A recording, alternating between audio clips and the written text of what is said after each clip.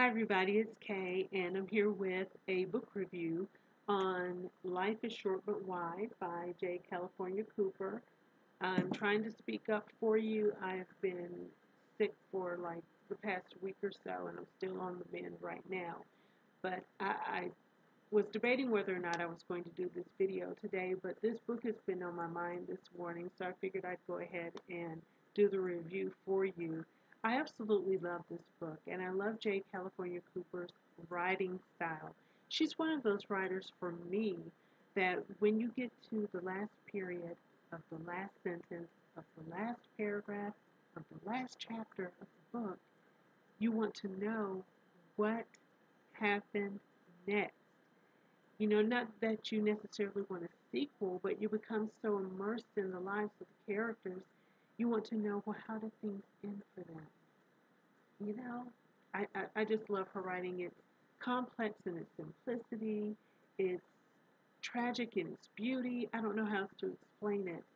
And her characters, the way she writes her characters, the way she, you know, adds depth to her characters and, and add the, adds the layers to her characters. As you read the book, you almost feel as if you're invading their privacy. You know, there aren't a lot of authors who make me feel that way, that I'm invading the character's privacy by reading the book. Anyway, Life is Short But Wide is about a select group of people in Wideland, Oklahoma. And it, uh, one thing I love about the stories is that it spans multiple generations. Ultimately, is a, it is a love story between Mine and Herman. It's ter- told from the perspective of a 91 year old woman who has nothing to do with the story. She's a she's a bystander. She's I guess what you would call a nosy neighbor. She knows their business and she's telling you the whole story and then there's certain parts she'll interject in first person and say, "Okay, now I need to tell you something right here about what just happened or what you're getting ready to hear." And I just I just love the way that the story is written. It's so beautiful and it, it it's tragic as well I guess the overall theme of the book, the the overreaching lesson of the book is it doesn't matter how old you are, you can still have faith that you'll find love. You can still have faith you'll be able to follow your dreams and make all of your dreams come true. And what I love about this love story is that it's not one of those simple, you know, boy meets girl, they have all of these issues and problems, but in the end, you know, they have this grand love. No, it's not written that way at all. There's a slow build to the story, a high construct, if you will, of the story and how she brings these characters together and and I almost want to say you have to exercise patience to get to the crux of the story, but you're so involved and you're so invested in the story that it doesn't matter how long it takes for the actual relationship to form and become fruitful. You just you just love the story so much.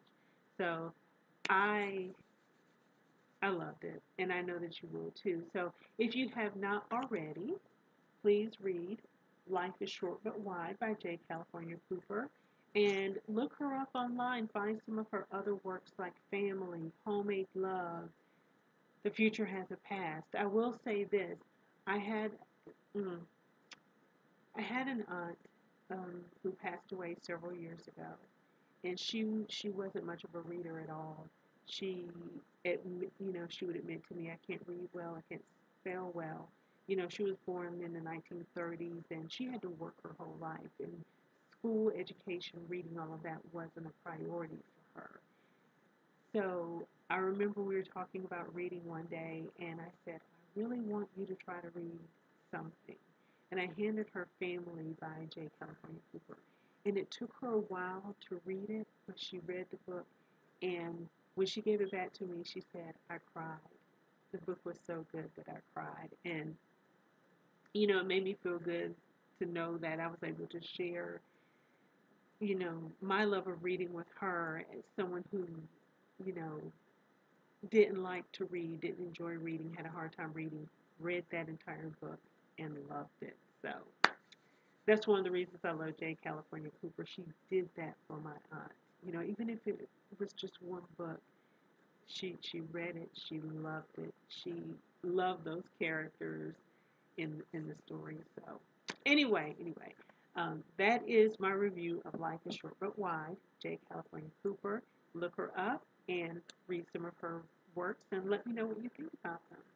Until next time, everybody.